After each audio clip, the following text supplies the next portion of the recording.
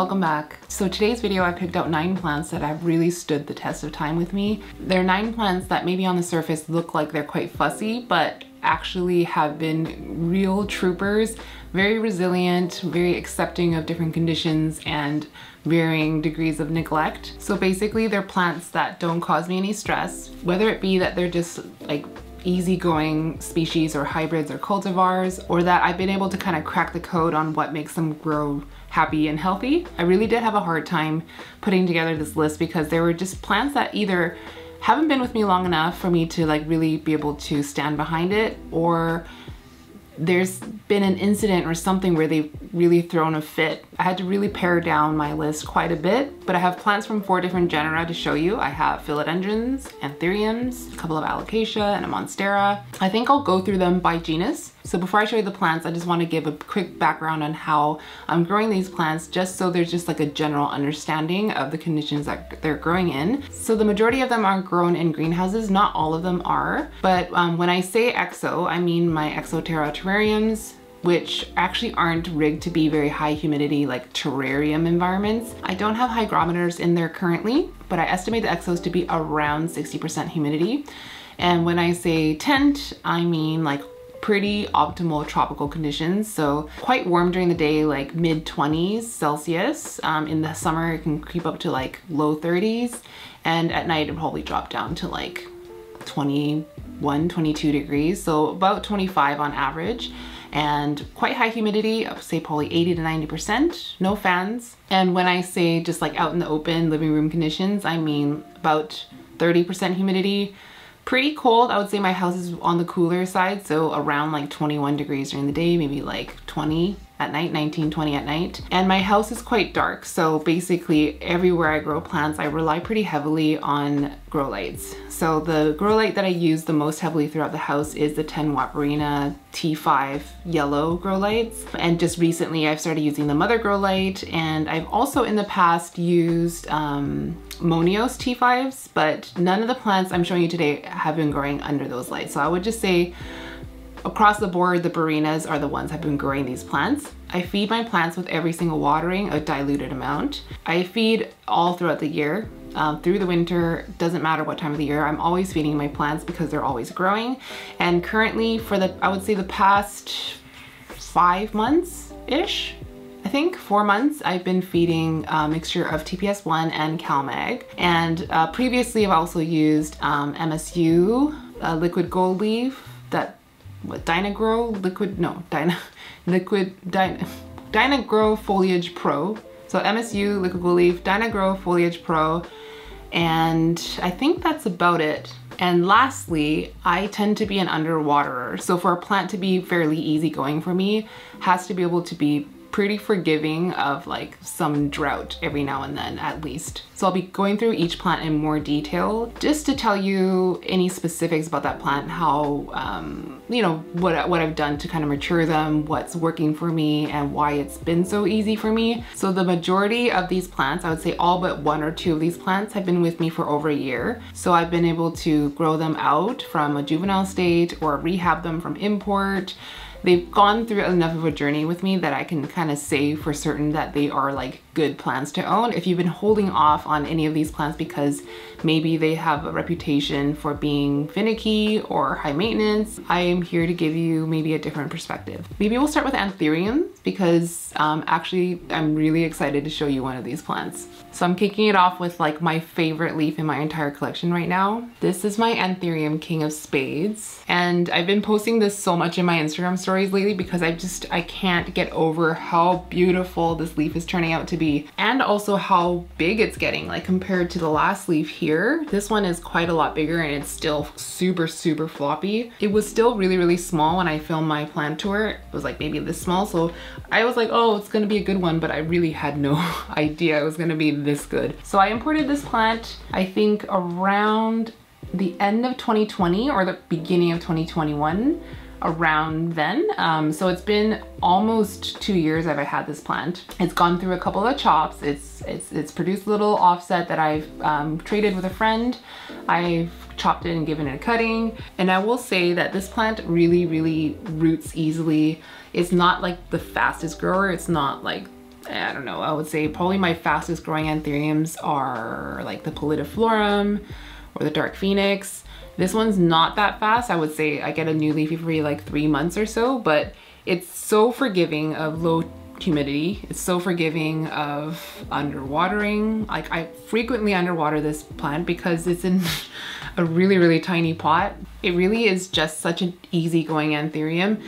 Probably because there's like a million species mixed into it. Nobody really knows what's um, in the lineage of uh, the King of Spades, but it definitely has that hybrid vigor. I've done some comparisons between my King of Spades and Charmaine's King of Spades, and we're anecdotally observing that higher light gives more purples and reds in the emergent leaves. I had much more vibrant red leaves when I was using a stronger, like a 20 watt light above it. And now that I've dropped them to slightly weaker lights, um, the, the plant seems to kind of get this like brownie color a little bit earlier. I'll see if I can find a photo of Charmaine's of Spades that was getting way more light than mine and it hardened to this like really dark like purple, bruisey purple, and that purple stayed for quite a long time. We'll see how the color remains on this one, but I'm quite certain that ours are clones of each other. They were purchased as cuttings from the same supplier in Indonesia, so I think that they were propagated by a cutting. So I just want to give you a close-up of this leaf because it's just, just everything. I don't know how big it's gonna end up being, but like if it just hardened off at this size, I'd be really happy, but given the softness right now, it still has quite a ways to go. Also, you can see in this pot that it's like super, super full of roots. This happened very, very quickly. I think I chopped and um, potted this plant coming up to a year ago. It's not quite been a year yet, but it like it really, really filled out this pot super quickly. I'm really happy that people are appreciating just how adorable this plant is. It's so round and it's so variable. You can have like really, really different shapes. Some of them are more elongated. Some of them are really like chubby and round. Some of them are very heart shaped and the colors and then the amount of silver that bleeds out from the veins. Like you can have these like random like silvery patches of what looks like variegation, but it's like silver splotches around the leaves. So if you are interested in, in this plant and you can find one for a pretty good price, I would highly, highly recommend it. I have read in a Facebook discussion. I don't remember who it was. They were talking about the different generations of King of Spades. They were saying that the F1 generation is a lot prettier, a lot more red, a lot more that classic King of Spades look. And the F2 King of Spades are a little bit more green, a little less um, vibrant. So I feel like if you're gonna get one, I would try to ask for pictures of the mother plant and find out if it was like propagated via seed or by cutting. I also know that um, Kartel Daun in Indonesia is selling like really, really nice ones that he got, I believe, straight from Haji Uli, which is the original hybridizer. I don't know what generation mine would have been.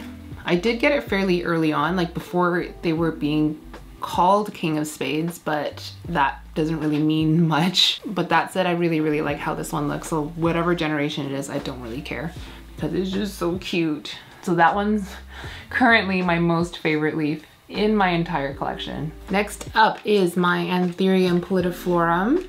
So I wanna say I've had this for almost two years now. It would have been winter of 2021 that I got this uh, from Equiflora. It was an import. It was a single leaf, I think, or a two leaf. It was, um, I think the import leaves have died, but this was one of the easiest anthuriums to acclimate. It rooted like within like the first week. I had it in moss in like a bin and I wanted this plant so bad. So I was terrified. I was so scared that I was gonna lose it. I had also appendins in that import or maybe also appendins before that and it it did not do well. One of them died. So I was like, oh my God, this pallidiflorum, it's gonna die. It's my like number one wishlist anthurium at the time and I'm not, it's not gonna make it and I'm gonna be so sad. But it's been so, so easy. It's been just a really steady grower. So once it's got rooted and started growing, it's been just kind of like one leaf after the other. It never really pauses. It never really goes through any dormancy with me. The only thing I would say about it is that it is incredibly thirsty, which, you know, kind of makes sense given like its growth rate. Currently, I have it in uh, tree fern fiber. I used to have it in a slitted pot with moss and it, there was some bark kind of mixed into the moss and it seemed to really, really like that, but I didn't really like that because that kind of pot plus that kind of substrate meant it was really, really hard to get that like root ball really, really watered. So I moved it to no drainage without slits, tree fern fiber, with a kind of reservoir layer at the bottom, just so I could not have to water this plant like every three days. I feel like it kind of preferred that slitted pot setup, but I couldn't keep up with it. So if I had kept it in that pot with that moss, I probably would have ended up killing it from underwatering. So this pot is definitely for my own sanity. It's not like root bound or anything, but it has rooted quite a bit in the substrate and it's given me um, one or two leaves. I think it's given me this leaf since the repot and also this leaf here and each leaf just keeps getting bigger and bigger and it is currently in flower. This little cute thing here, I love how it just like kind of turns up like that and it's got this like kind of minty color to it. It finally opened up for me, but it's not yet receptive. There's, you can see there's no like stigmatic fluid on it or anything. So I don't know what to do with it yet. I'm keeping an eye on all my inflos just to see who's gonna match up with who, but so far nobody's receptive. Right now I have Forgetii in flower, I have a Crystallinum in flower, no, I have two Forgetii in flower and also this one. So I have four plants. We'll just see how they match up. I forgot to mention, I have the King of Spades and this Pallidiflorum currently growing in the same exo, this one right here.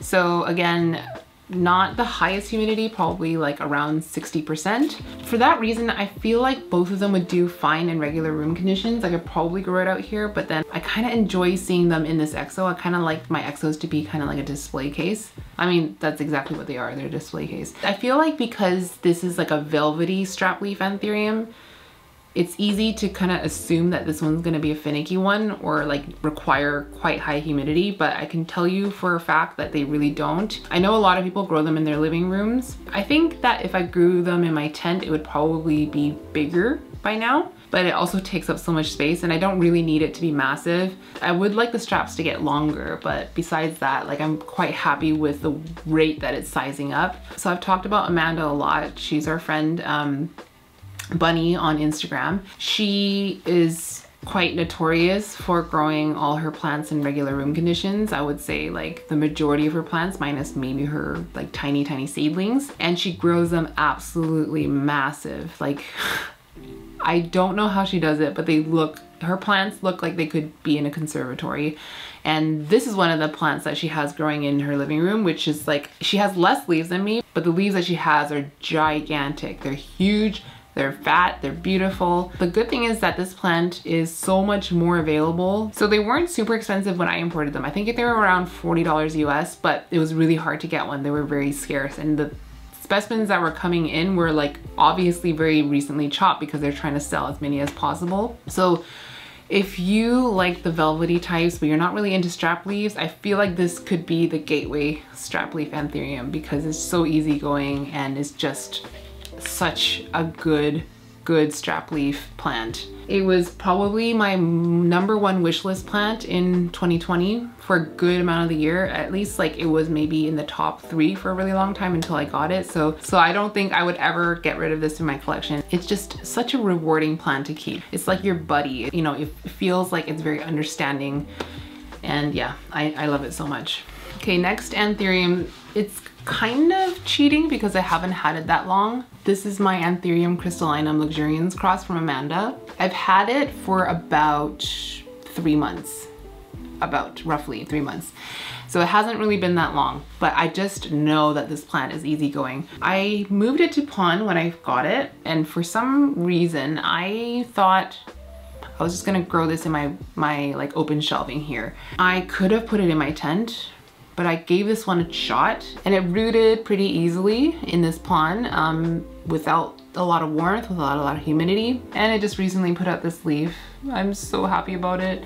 This was the leaf that was on it when I first got it and it's been working on this leaf for quite some time and it's still expanding a little bit, but I think it's almost done. But yeah, I've only had this three months. But I also have a Crystal Mag Lux, um, two of them actually from Lauren, and I find those ones quite easygoing as well. But also seedlings tend to grow quite quickly anyways, like when they're quite young. So I feel like this one is at a stage where it's really gonna, you know, show its cards. I just think that at this stage is when the plant starts to slow down and really starts to, you know, stop growing if it's not given the condition it likes. And I have it in this EXO as well. So the same EXO as the Pallidiflorum and the King of Spades. It's in pon, it gets watered when it's completely dry. It hasn't lost any leaves since I got it from Amanda. And I think before it was in tree fern fiber with some pon mixed in. So now it's in full pon. It took to the transition super well. I just have a really good feeling that this plant is gonna be really, really good. And I think um, because there are so many Lux hybrids out there and a lot of them look like pretty much the same, it's, good, it's really hard to tell them apart. So I think if you're able to get your hands on one, like a Crystal Lux or Mag Lux or Crystal Mag Lux, I think any of those would be quite easygoing. Maybe Forgetii Lux would be really cool. I've been looking for one, but I, I'm looking for one that's already peltate. What else?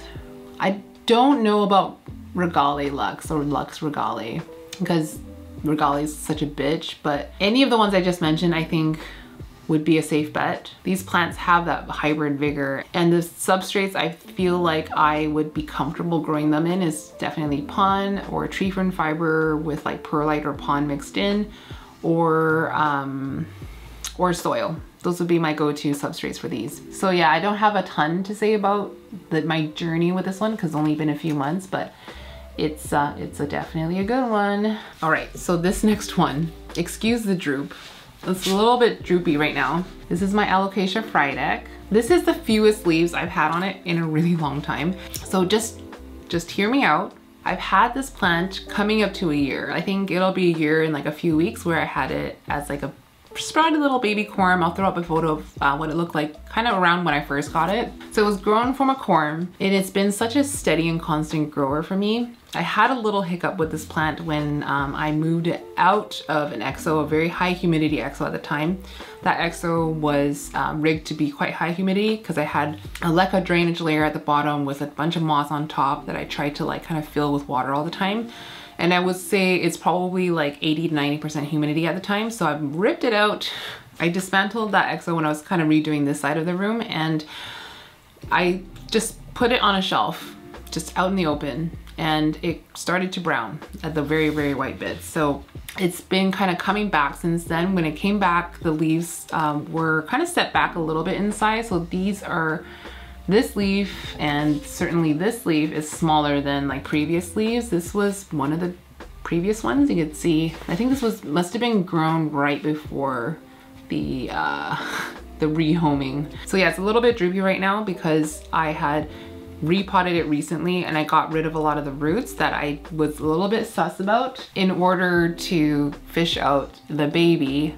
The little corm that was like probably this far down the pot. It was like pressed up against the glass. Like I honestly thought it was like roots covered in algae, but nope, it was a corm. So this is what it looks like right now. It's super, super mangled because it was growing underneath pon, but you can see that it's variegated, which is good. So I put this on this list because I truly believe that the frydek, which is the variegated Micholitziana, is easier to grow than the actual green Micholitziana. I just, I just really do. I've, I've grown two Micholitzianas. Both of them were such little bitches. They just would not hold on to leaves the way that the frydek did. I was, it's it was, it didn't make any sense to me, but this plant is actually much easier than its green counterpart. But I really think that this is one of my more rewarding alocasias to grow, not only because it's beautiful, but because like it's very constant growing and it definitely grows faster than almost all of my alocasias. This might be my fastest growing, maybe not quite as fast as the other alocasia I'm about to mention. So this one currently grows inside my grow tent in pretty high light. I mean, the lights aren't that strong, but I've got it pretty close to the light. I'm trying to get the leaves to face the same way.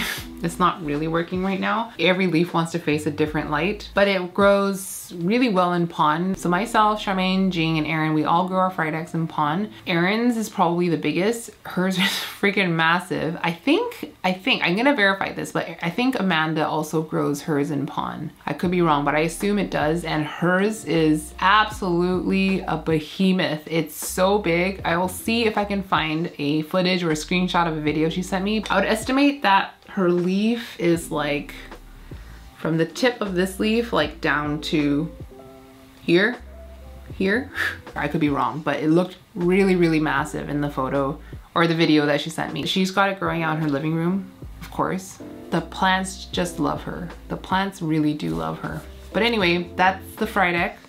I think it's quite easy for an alocasia. If you don't want to grow it out in regular room conditions, I think um, you know, some sort of greenhouse environment would be good, like a tent or an exo or like a greenhouse cabinet. I know there are people who do it successfully. I think you probably would need to acclimate it down in humidity if you can, um, or, or do it cold turkey, but expect it to get quite ugly for a little bit. I can't speak to the growth rate in like cooler, uh, drier conditions, it probably would grow slower, but I would say that alocasias are quite heavy feeders in my experience. I find that they really respond well to feed. So I think while they're growing, like I would really try to make sure I have feed in every single watering with my alocasias. So hopefully the next time you see this plant, it's gonna be more leaves, bigger, and oh, one thing I was gonna say, this is not to do with its easiness or whatever, but when I was growing this plant under stronger lights, 20 watt lights, it had that very classic Frydek white variegation look. But when I switched the lights out for Barrinas, which were 10 watts, all the variegation started to get more green. So you can see this one has got this like kind of almost minty, like kind of pattern to it. This one is certainly like quite green. This one has a little bit near to the veins. This one is quite yellow. This one's one of my favorite leaves actually. But under the 20 watt lights, this variegation would have been like white. I kind of like this. I think this is kind of cool because I don't see a lot of Frydeks that have this like minty yellowy variegation. And also the prices of this plant has really, really come down quite a bit. So I would say if you can get one for a good price, a little baby one, you can grow out from a little baby corm seedling sprout.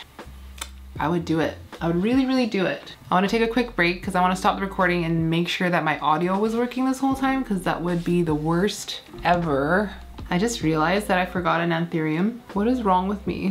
What? I wrote a list and everything. So how about we do the last alocasias? We'll jump back to Anthurium. I feel like anyone who watches this channel is gonna know which alocasia I'm about to say next. This is my alocasia scalprum. So obviously I have to talk about the scalprum. This is, I don't even think it's really an alocasia because it really doesn't act like one. First of all, it loves to hold on to leaves which we know alocasias don't like to do. Even when I compare it to like the really thick leathery ones, like let's say like the green dragon, silver dragon, black velvet, like this one is just so much hardier in my opinion. You do not need to grow this in a greenhouse. I have this growing right here on this shelf. It used to grow in this exo here, but right now it's got low humidity. It's actively pushing a leaf. It's just trucking along always. It's constantly trucking along. I got it about a year and a half ago. When I first got it, it was like fresh from the nursery. It was in soil. I moved it, I think, to, I might have moved it to pon and then to soil or straight to my own soil. I don't really remember if it was that middle pon step, but for a really long time, it wouldn't grow. And it wasn't until I inoculated it with great white did it like just shoot up and start growing like crazy. Not only was it growing a lot quicker, it was sizing up as well. So before great white, the leaves were about this size, maybe a little bit smaller. And then after great white, we were getting leaves like this size. And this leaf has been with me for quite some time. I wanna say like good, I don't know, six months or so and it's showing no signs of wanting to leave this earth. Other than the Frydek, depends. I feel like they're neck and neck for like my fastest growing alocasias. And this one is really, really like pot bound in soil. It, def it definitely needs to be sized up um, because if I don't water it every like four or five days, it really, really is just dusty dry. So I, I really felt like this is was an underrated plant um, because locally to me, they were very, very available in garden centers and stuff. And then it just didn't seem like anybody cared it didn't seem like anybody wanted them. They nobody was like flipping them. Nobody was posting about them in like Facebook groups. I didn't see often on Instagram and whenever I posted on Instagram, it didn't really get a lot of like excitement, I wanna say. But every time I talk about it on YouTube, people in the States are like saying that they've been looking for one, they're not available to them, and they really want one, or it's a wish list plant.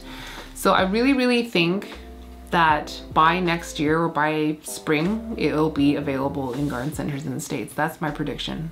How would I know that? I don't. That's just my uneducated prediction. But like the fact that they're in like Home Depot here, like I, it's gotta make its way to your garden centers in the States. And when you do see one, I highly recommend you grab one. They're not gonna be expensive. They're like TC and they're very, very mass produced plants. So when you see them, please do yourself a favor and get one because they are so easy. So what this plant gets from me is it's in soil, it's got great white, it's fertilized with every watering, it's under did I say grow lights already? And there's no, like nothing to boost the humidity on it. So it's getting like ambient humidity. This one is my easiest alocasia because it doesn't grow these like crazy long petioles. It stays quite compact. Like if you can see, like it's not like reaching everywhere. I, have never seen a very leggy, reachy alocasia scalprum. If you're not into alocasias because they're like spider mite magnets or they're, you know, difficult to grow and they're kind of finicky and they throw a fit whenever you like repot or whatever. If you stay away from alocasias for that reason, this is the one that could maybe win you over. So back to the anthurium that I forgot to talk about. Obviously, I had to talk about my dark phoenix. So I've had this plant for maybe about a year and a half. I imported it from Indonesia around May, June of 2021. I got it as like a very small seedling size and it suffered a lot that summer from heat wave, but it really took off and just started to grow like crazy when I moved it to pon. And coincidentally at the same time when I moved it to pon is when I first started to use great white. So this was like one of the first plants I ever inoculated with great white. But it sized up from like this size, but the newest hardened leaf is this size. And it just recently put out a leaf.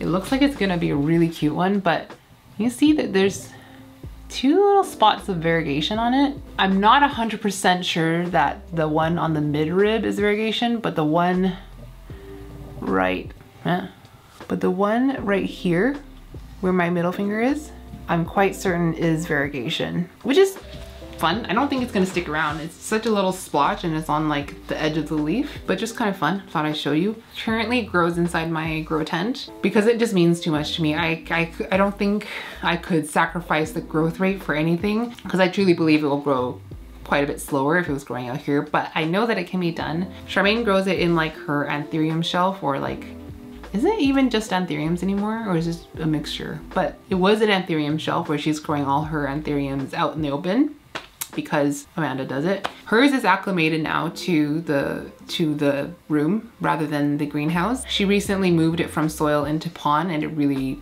embraced the pon and I can guarantee you it's gonna just take off now. So it for sure can be grown out in like room conditions. I personally don't, but maybe when it's bigger, I might. Just right now, I really, really baby this plant because it's like my favorite little baby. So what I want to say about this plant is is freaking great. I don't know what the lineage is. It's thought to be a pure pappy from Indonesia, but nobody really knows.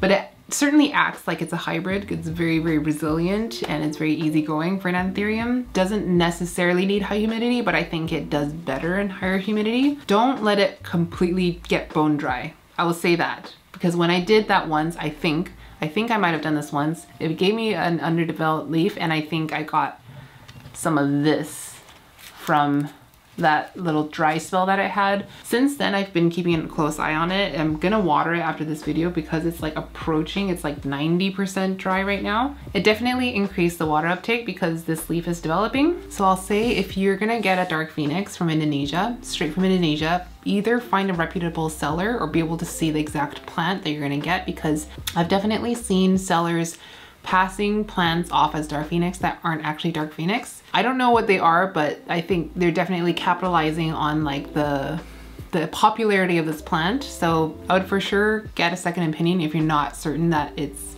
a dark phoenix or maybe if the price is too good to be true. I can say without a doubt, this is the one plant in my collection that absolutely adores pon. Like pon just makes it grow so fast. So there's a reason why I love this plant so much. It's just one of those plants where it feels like the love is truly reciprocated. This next one has a bit of a reputation. Certainly before I got this plant, I had heard horror stories about it being really, really difficult. So I wasn't really holding my breath on this plant. I got it and I was like, okay, I'll probably have to baby it for a really long time and it might not grow that well for me, but it really proved me wrong because it's been just an easygoing plant and that is my philodendron patriciae. I had been after this plant for so long before I got it and it was so so expensive at the time. I think when I was trying to hunt down this plant it was I was actively searching for it. It was probably around the $800 mark. Uh, I, I've definitely seen ones go for like the thousand dollar mark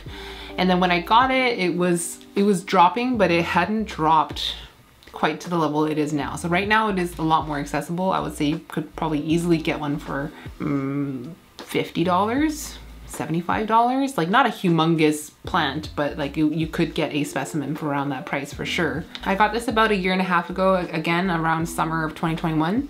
It was a rooted mid-cut um, from Charmaine. That leaf was gone. So since then it had grown one leaf that's not with us anymore. So one, two, three, four, five, six, but every leaf has sized up and it doesn't crisp up with lower humidity. So for the majority of its time with me, it had lived in my tent and it, it just loved it in there. But it started to get a little bit big and I wanted to make some room for other plants that I needed to be in there. So I was testing it out in this exo here. So like it was probably a humidity drop about 30% or so. And it was definitely cooler in here as well. And it just did not mind. Didn't change a bit. Like it just kept on going. It didn't show any crisping. It didn't show anything really. It was just like, all right, this is my new home now. Sounds good to me. And it's currently putting out a leaf that looks like it's gonna be a pretty good size. And that would be the, the leaf that would have fully like developed and formed in that new enclosure. This is one of those plants that was on my wish list because it's beautiful. I love long leaves. I love this like kind of ripply pleated look of the leaf and like when they get mature oh my god they're so stunning with those like really really dark leathery textured leaves but those that pleating is just so beautiful. I couldn't believe that it's maturing with me. And second of all I really didn't think that it would require so little of me. The only thing I will say about this plant is that it's quite thirsty, so the substrate does dry out pretty quickly compared to a lot of my other philodendrons. But if I keep it watered, it really doesn't need much from me and it just like keeps on going and it keeps getting better and better. I didn't even put it on a pole and it kind of takes highlight pretty well. It got a little bit close to the light here at the top, so it is lightening a tiny bit, but really nothing like too drastic. I really don't know what the deal was with like all the horror stories from before and why they were known to be so difficult, but it really is not. I truly think that it's worth a shot if you appreciate this leaf or if you like the Esmeraldense. This one actually based on like stories I've heard from Charmaine and Jing who have owned the Esmeraldense. I have never owned it. I feel like this is actually an easier plant. And it's a really nice plant to have hanging in an enclosure or hanging like in your room because it it really has that really like nice drapey look. I'm gonna try to speed this up because my camera keeps dying and it's, what is it? It's like seven o'clock and I need to fix dinner. Oh, it's 7.14. Okay, let's let's keep this going. I think I was done talking about the Patricia anyways. I'm pretty sure a lot of you would have guessed that I would put this on the list. This is my Philodendron Florida Beauty. I'm not even really sure how to show this to you. So these are the top two leaves, but it's really hard to show you the rest of the plant. Maybe like that. This plant is like the MVP of my philodendron collection. It started the year off extremely sad. It was uh, like maybe like three or four leaves, but it was kind of like growing juvenile, growing really wonky. It was not on a pole. It was kind of like this, like this. And every leaf just kind of kept looking sadder and sadder and then it kind of gave me this little thing. I was kind of emotionally over this plant. I needed a plant to put on a pole in a video that I was doing with Charmaine. It was a repot video. I think it was on her channel, but I can't remember. It was either my channel or her channel. I brought this plant because I was like, it obviously needs a pole.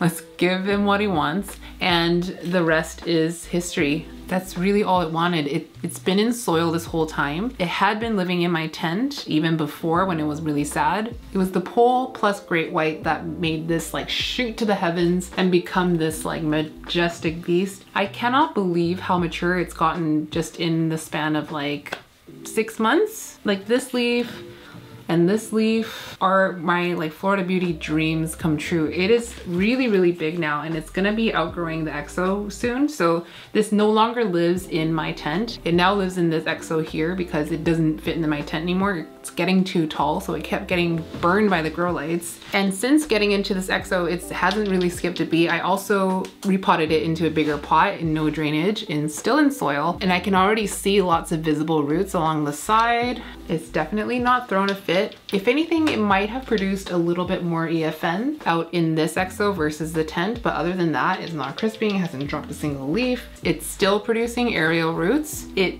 matured so well. It kept the variegation going. I mean, not this leaf, but it does like it does kind of alternate every now and then. It'll throw a pretty green leaf, but it'll go right back to this. I really don't want to chop it, but I think within the next six months, I'm gonna have to give it a little bit of a chop. I feel like these are still a little bit pricey and they're not like super stable for a variegation. So it is a little bit of gamble. I personally wouldn't buy like a single leaf cutting without a variegated leaf already growing out because I've taken cuttings of this plant that was very, very highly variegated and the stem was very highly variegated. It's got nice striping and it just fully reverted, never to be seen again. Like the variegation was gone.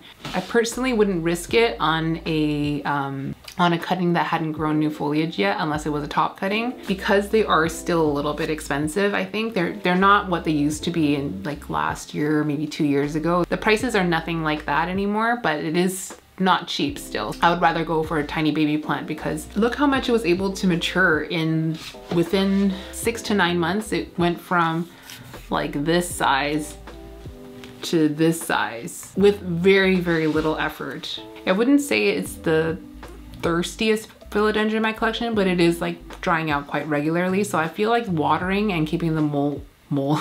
Keeping the pole uh, hydrated is probably the biggest challenge with this plant, but otherwise it is just such an easygoing plant. And I would say probably the same goes for like every pedatum variety. Like I assume glad hands, Florida ghost, Florida green, polypodioides. I'm not sure about that one because it is so spindly. I feel like it would require higher humidity in order to like unfurl, but I think it probably would be very similar. Yeah, if anyone grows a polypodioides, let me know if it's as easy or like on the same level as like a Florida Beauty because that plant is still high on my wish list. And then of course we have the Gloriosum. Here's the big boy top cutting that I chopped up in my video uh, a few weeks ago. I can't see Oh yeah, it did root. It's hard to see from the front because there's a lot of algae, but there are roots here. I don't know if you can see some roots here.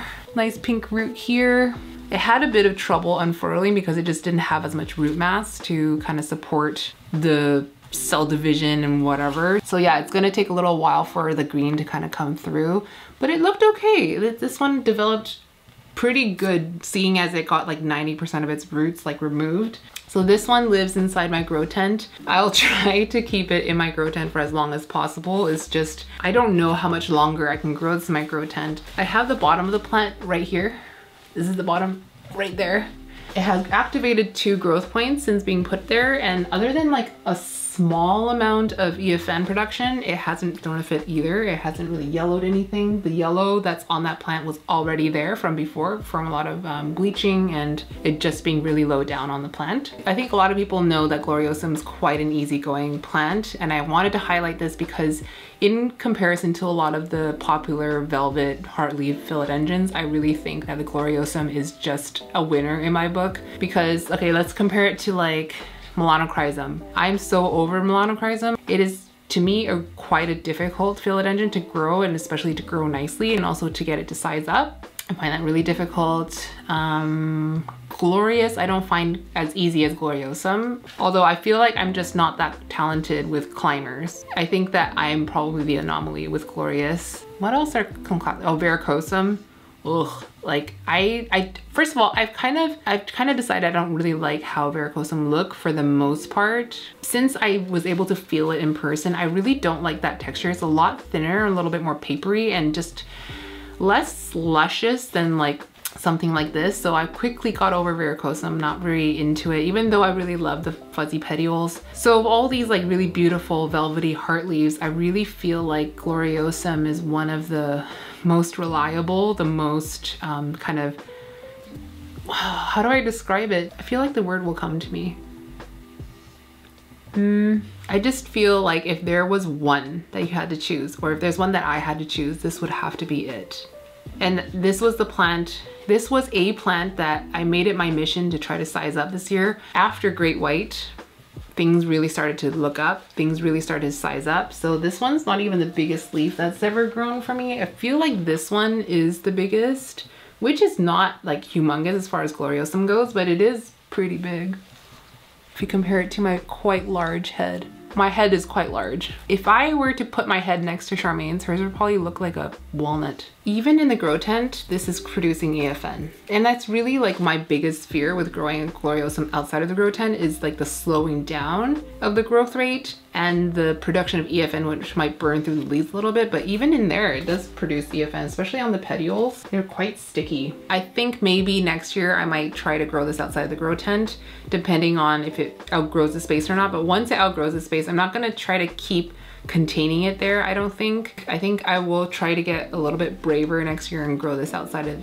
the greenhouse and see how it does. The bottom cutting back here is definitely the guinea pig for the time being. If you've watched this channel even a little bit, you'll know how much I love Gloriosum. It was so worth the time and effort to grow this large and it didn't even take that much effort. So this last one is the only Monstera on this list. It's the only Monstera that I feel like I've been able to grow well. All Monsteras I've ever grown have not really been my friend. I've failed many times and I've kind of struggled to size them up and mature them a lot, but this one, the Monstera Esqueleto, was a definitely a different story. I honestly didn't expect to love this plant so much. I've always been interested in it. I always thought it was beautiful, but it was really, it's, it's so hard to see it because it's all holes. It's all blending into the background. I truly didn't think I was gonna be able to get large foliage out of it. And it's not even nearly as big as it can be, but I grew this from a, like a node, a single node with roots, but no leaves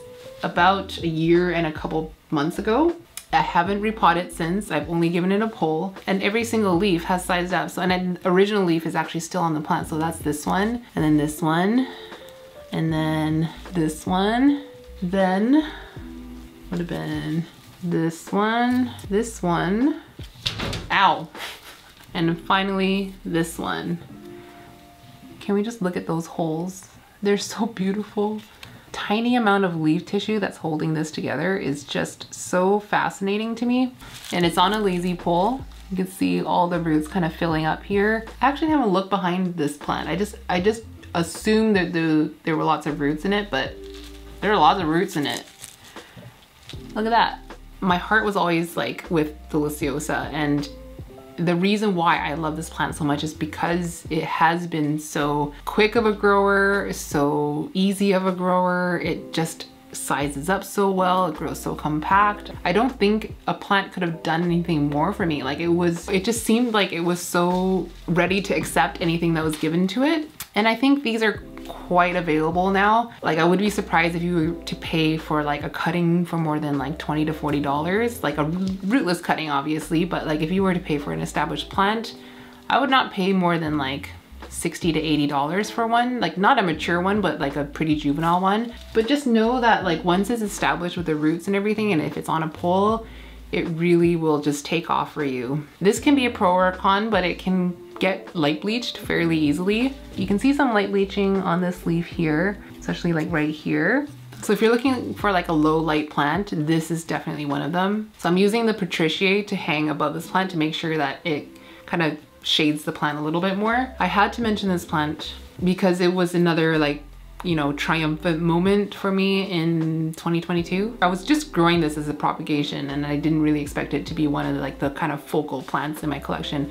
And I will say with very little to no effort from my end. This one grows inside this exo. I think it does better here than it did in my tent because I think the tent was just a little bit too intense, a little bit too, the light was too much. It grew, it definitely grew, but I think it's, it's a little bit happier in here. I think this plant is good for the ego because when a plant matures and like, you know, sizing up and everything, it makes you feel really good inside. And just knowing that, you know, you can go from this to this in a year, that's just, it's just amazing. Nature is so cool. Oh my god. All right, guys, that is everything for me today. I hope you enjoyed this list of easygoing plants. Obviously, I don't expect that everyone's gonna have exactly the same experience. Certainly there are plants that people grow really well that I highly struggle with. But if you're kind of on the fence on any of these plants because you might have heard some horror stories, hopefully this will give you a different perspective and um, hopefully it will be helpful in like letting you know what has worked well um, especially for my plants. If you have any questions on the care of these plants that I didn't cover, please feel free to leave it in the comments. Thank you so much for watching. I hope you enjoyed it. If you did, please remember to give it a like and I will see you in the next one. Mwah.